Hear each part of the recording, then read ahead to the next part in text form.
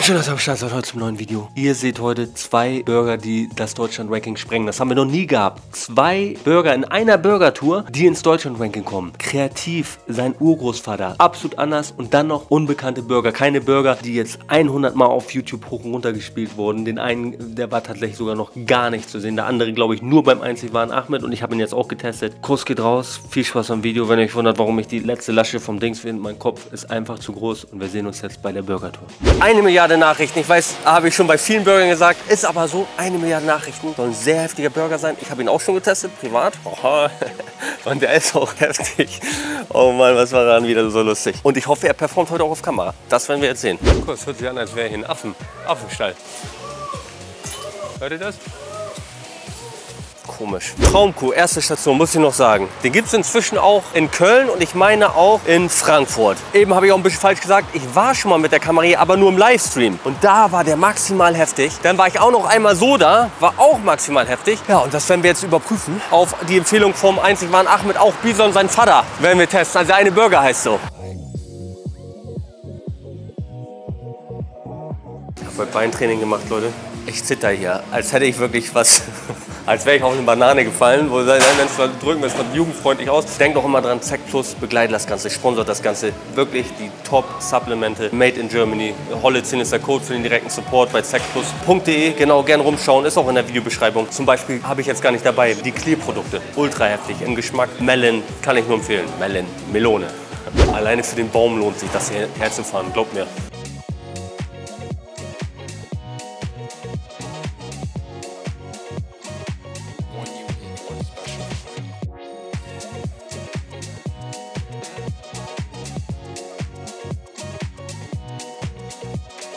Also eins muss ich sagen, die, ne? Also sage ich mal, kleines Kompliment, gebe ich gerne mal raus an Leute. Glaubst du an das Leben vor dem Tod? Ah, nicht wirklich. Nicht also, wirklich? Nicht wirklich. Also ich, ich an das Leben nach dem Tod, ja. aber vor dem Tod nicht wirklich. Okay, ich glaube sogar an das Leben vor dem Tod. Und es gibt Leute, die bewegen sich einfach krass. Und du bewegst dich so, als wärst du in deinen letzten acht Leben vor dem Tod Burgerbreter gewesen. Jeder Griff ineinander. Ich habe die eben beobachtet. Ich habe ja auch echt Spaß mhm. dabei. Deswegen ah. kombiniert sich das sehr gut. Ja, du bewegst dich wie eine Elfe. danke, danke. Bitte, Bruder.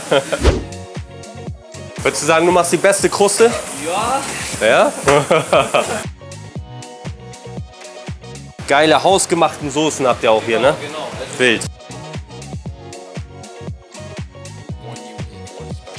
Also für euch noch kurz, warum ich überhaupt jetzt diesen Laden nehme, um äh, speziell den jetzt euch auch noch mal vorzustellen. Ich finde, der Burger hat so einen speziellen Charakter. Es gibt ganz viele Burger, gerade finde ich auch, oh, die unterscheiden sich nur minimal. So ein Smash-Burger, da kannst du zu zehn Läden gehen und meistens ist der ähnlich und, und irgendwie nicht sonderlich anders halt. Genauso auch bei so Garstufenburgern. Gibt immer nur Nuancen, die sich unterscheiden. Der hier hat wirklich so einen ganz anderen speziellen Flavor. Die haben auch andere Soßen auf dem Burger, den ich damals gegessen habe zumindest. Ganz andere Geschmacksnote muss man gegessen haben. Ich hoffe, heute performt er so wie die letzten Male. Ich mach so, weißt du? Der kannst du gegen meinen Schuh gegen. Ja, so mal. Warte, ich schieb dich.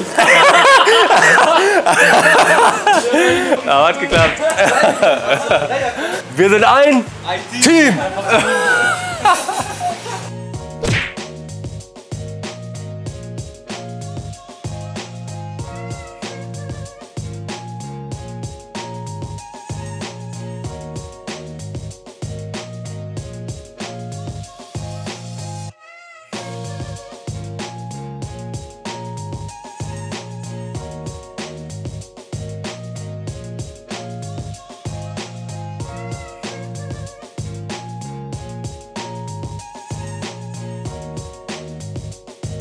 Das sind selbstgemachte, ne? Genau. Stanzt du die auch selber, richtig? Ja, kann ich mal zeigen. Hier ist unsere Maschine. Ja, gerne. Ah. Hier kommt die Kartoffel rein, das wird gestampft.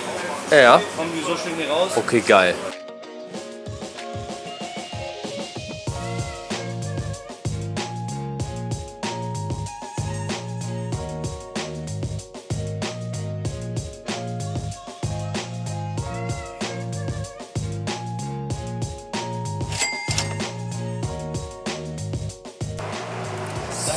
Sehr geil. Kannst dich einfach hier, das geht, das geht. Perfekt. Hier ist der Kollege. Geil mit dem Pommes Dill drauf als Gewürz. Finde ich geil, dass sie das auch sagen. Wild, wild, wild. Hab schon angefasst. Ganz spezielles Brot, ganz weich. Wirklich butterweich, alleine schon vom Anfassen her.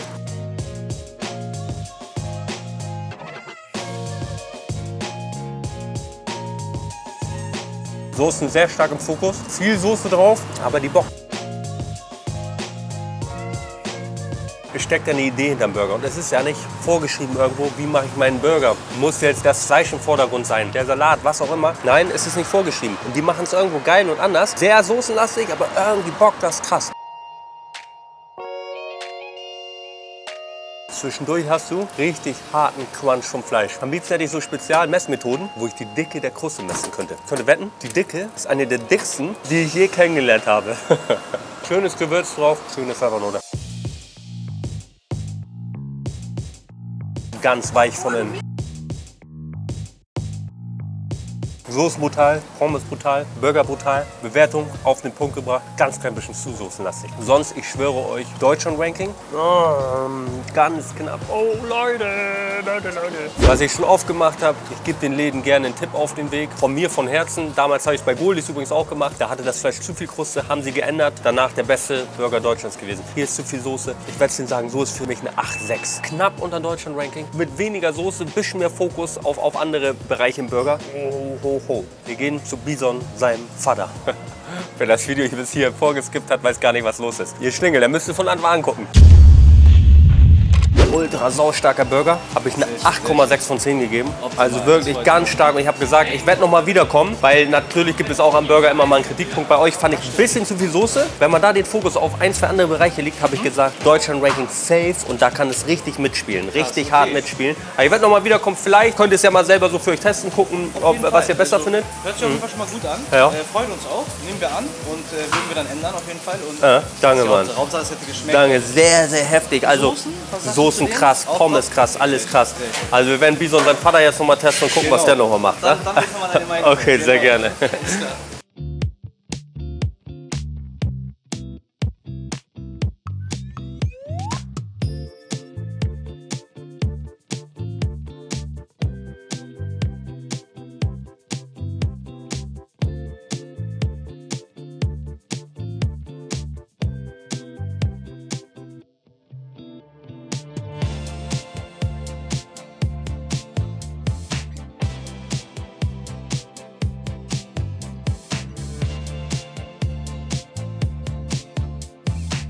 Bin ich sehr gespannt, sehr gespannt.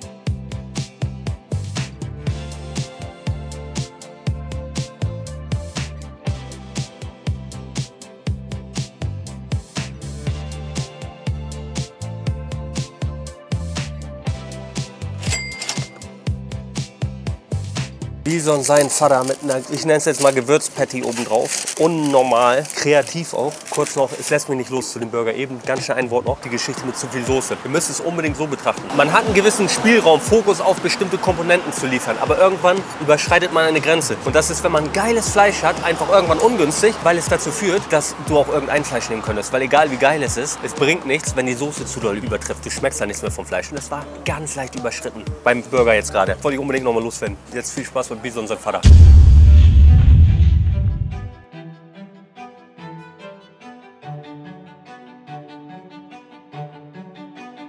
Der ist krank, Leute.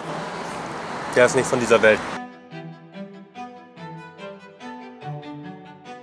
So dick Fleisch auch, aber unnormal heftig. Das Geniale an diesen Hähnchen-Wirtschicht, nenne ich es mal oben drauf, man kann es gar nicht genau ausmachen, dass da ist. Der Geschmack ist einfach krass, aber du machst es nicht genau aus. Bissige, säurelastige Mayonote, aber nicht verkehrt.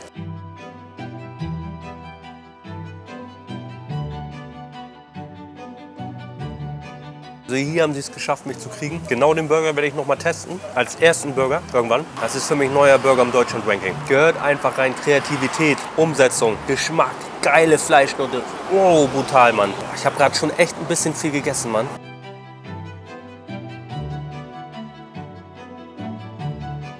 Dann beißt er zwischendrin noch auf diese Gewürzmarinade. Die ist so richtig verhärtet, so richtig, oh, so richtig angebraten. Gib jetzt mal ganz vorsichtig eine 9 von 10 Punkten. Stark, Leute. Werde ich safe noch mal testen. Eventuell sogar direkt so in ein, zwei Wochen, weiß ich nicht. Könntest du haben. Da habe ich nämlich einen Burger auch noch vor, den Mash, den ich schon seit Ewigkeiten testen wollte, weil der so krank war. Wo ich gesagt, den muss ich noch mal testen. Ganz clean, mit leeren Magen. Wir gehen zu Hobbs Burger. Oh, ich glaube, das können wir heute nicht mehr toppen. Jetzt sind wir an der Alster. Direkt in der Europapassage befindet sich jetzt Hopsburger, was ich noch mal loswerden möchte. Was mir eben noch mal so in Gedanken kam. Es ist ja einfach so, ein Burger muss nicht geröstet sein, ein Burgerband. Es muss nicht geröstet sein auf dem Grill. Jeder Burger entwickelt seine Eigendynamik. Und ob das jetzt geröstet ist oder nicht, im Gesamtspiel ist der Burger entweder geil oder nicht geil. Es gibt da keine Vorgaben. Du musst so, du musst so. Das ist das Geile am Essen. Jeder Gastronom da draußen erschafft seine eigene Kreation, sein eigenes Wunderwerk, wollte ich gerade sagen. Er schafft sein eigenes Meisterwerk. Den Ausdruck habe ich gesucht.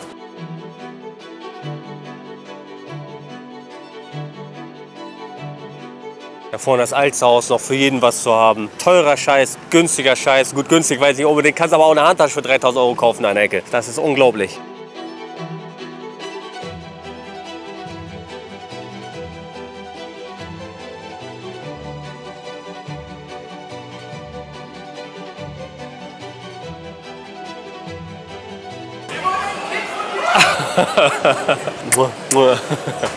So, beim guten Hopsburger angekommen. Wir werden jetzt erstmal einen Burger bestellen. Oh, wir nehmen den normalen Cheeseburger. Für mehr als einen langt es heute nicht. Ihr beiden, Hallöchen. Ja? Hi, geht's dir gut soweit? Ja? Alles gut. Das, das freut mich auch gut. Ich dachte, ich äh, statte dir mal spontan einen Besuch ab heute. Geil, spontan äh? ist alles. Äh, einen Burger. Ich gebe dir heute die Chance für einen Burger, weil mehr schaffe ich nicht. Welchen Ja. Burger soll ich wählen? Probier mal den Italian Club. Da ist eine Tomatencreme drauf, Basilikum und Parmesan. Oha, das könnte wild werden. Den haben wir gemacht in Napoli. Äh? Die haben uns eingeladen damals. Ja. Das war ein Aktionsburger. Dann Ach wollten so. wir den von der Karte nehmen. Dann Ja. war das Geschrei riesig. Ehrlich? Ja, es gibt Ärger, wenn der wegfliegt. Oh, das ist eine geile Geschichte. Dann Ja, kann ja. ich den nicht äh, abschlagen jetzt. Den ja? machen wir dir. Okay, machen wir. Geil, apart.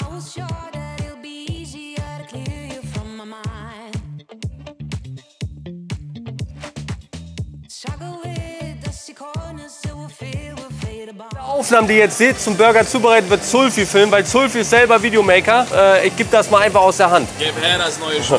Aber dann kannst du nicht selber braten, ne? dann muss einer von euch.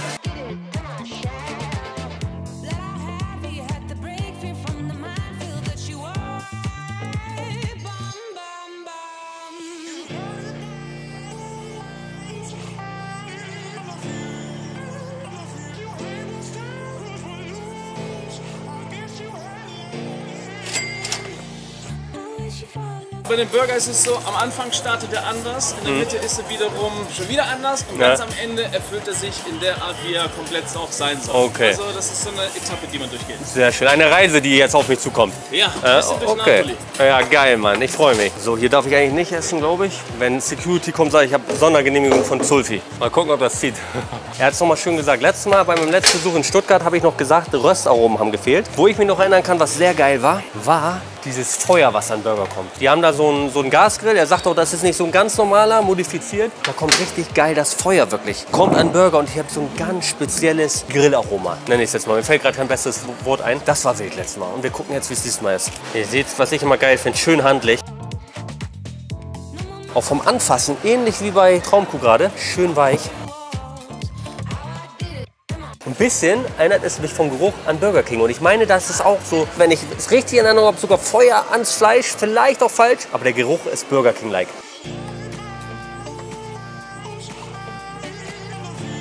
Der ist super krank, Leute, wirklich. Ich hätte nicht gedacht, dass ich das jemals sage, aber der ist nicht mal Medium. Nach dem Burger eben bei Traumkuh. Ich hätte sehr viel Geld drauf gewettet, dass hier kein Burger kommt mehr, der das toppt. Ich weiß nicht aber, ob der das noch toppt. Der erste Biss schon hat mich krass geflasht. Muss ich sagen, ich glaube nicht.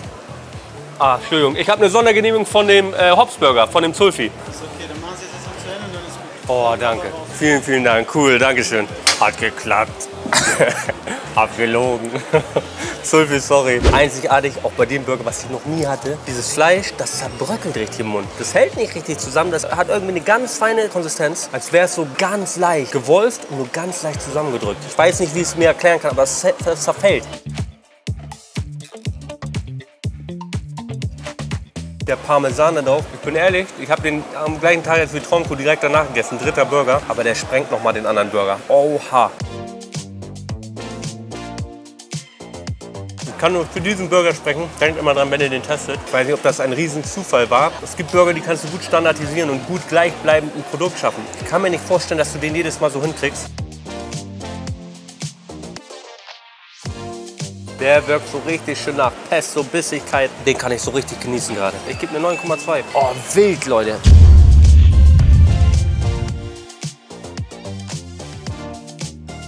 So, mein lieber Zulfi, ne? Ich muss dir jetzt was sagen. Ja, hau raus.